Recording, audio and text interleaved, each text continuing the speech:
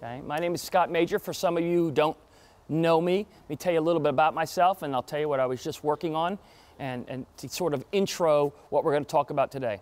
Um, my background is I'm, I'm from Florida, um, born and raised in Florida.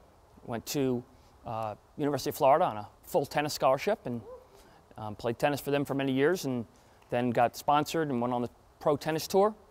Then I went to law school, and uh, and then I started writing motivational books and writing articles and things like that. And I've handled probably every kind of case that you can imagine.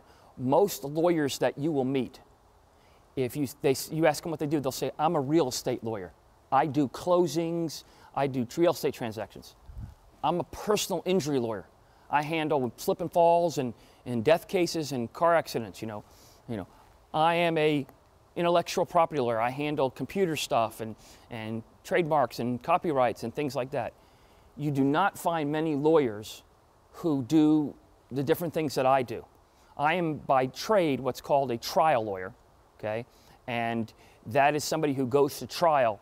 But because of my experience, which I'll tell you about in a minute, I've had the chance to try cases in different states. I have been doing cases on the plaintiff side, you know, and I've been doing cases on the defendant side. And you all know the difference between those two, okay? And so I've handled both sides of the coin, okay?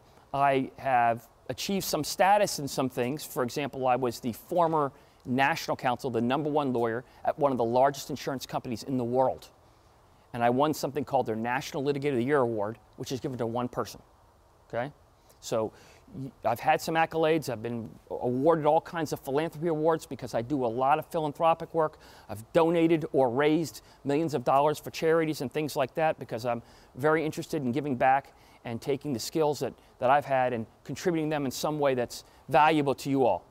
And that's one of the reasons why I'm here.